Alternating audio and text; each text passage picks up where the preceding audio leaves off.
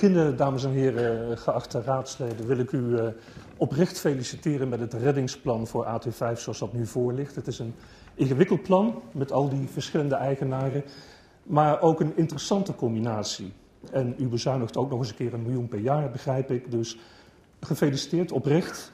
En dat geldt in het bijzonder voor mevrouw Gerels, ook in verband met haar verjaardag. Proficiat. Zit ik hier alleen maar. Zit, nou, we krijgen straks een drankje aangeboden, heb ik begrepen. Zit ik hier alleen maar om u te feliciteren? Nee. Ik wil u vooral duidelijk maken, dames en heren, dat in het samenwerkingsplan voor het nieuwe AT5 één Amsterdamse tv-organisatie ontbreekt.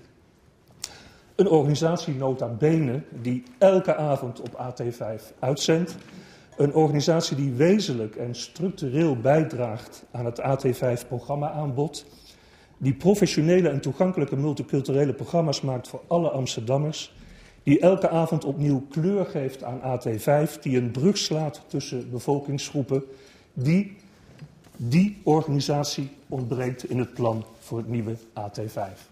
Bij MTNL ontdekte ik dat we bij AT5 eigenlijk heel wit zijn.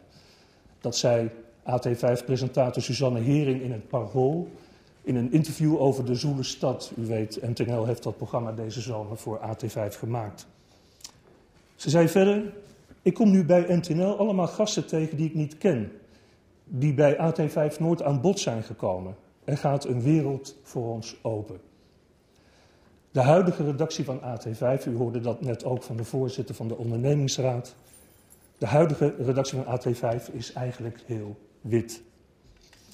De redactie van het Parool is wit.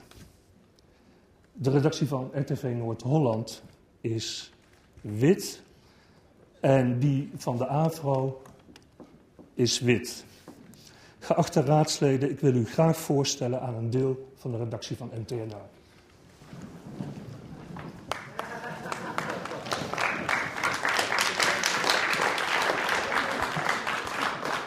Een deel van onze redactie zit nu in de studio van RTV Noord-Holland om voor AT5, dus de uh, ZOZ-talkshow, op te nemen. Zij zijn dus bij deze verontschuldigd, maar dat geeft ook aan hoe wij over samenwerking denken. Dames en heren, voor u staat een unieke groep tv-makers. Professionele, moderne journalisten met een allochtone achtergrond. Uniek, want ze werken vanuit het perspectief van grote groepen Nederlanders met buitenlandse roots. Ze weten als geen ander wat in die groepen speelt en zetten die kennis om in relevante en toegankelijke televisieonderwerpen. En zo trekken ze die groepen naar de lokale zender toe. Voor u staat een unieke groep, ik rond echt af. Voor u staat een unieke groep tv-makers. Het kan de laatste keer zijn dat u ze ziet. In 2012 moeten wij onze organisatie afbouwen. MTNL is multicultureel. Dat was voor gedoogpartner PVV voldoende reden het kabinet te bewegen onze landelijke subsidie stop te zetten. Voorzitter, en ik rond echt af, wij begrijpen dat Amsterdam flink moet bezuinigen.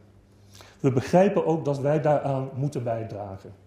Maar we hopen dat u bereid bent ons nog enige tijd te steunen. Te steunen om een bescheiden Amsterdamse redactie in stand te houden. Een Amsterdamse redactie die wat ons betreft onderdeel kan worden van het nieuwe AT5. Het gaat niet om mijn positie. Het gaat ook niet om het voortbestaan van MTNL. Waar het om gaat is dat de unieke kennis en expertise die we hier in Amsterdam met uw hulp hebben opgebouwd, niet verloren gaat voor het nieuwe AT5, de zender voor alle Amsterdammers. Dank u wel.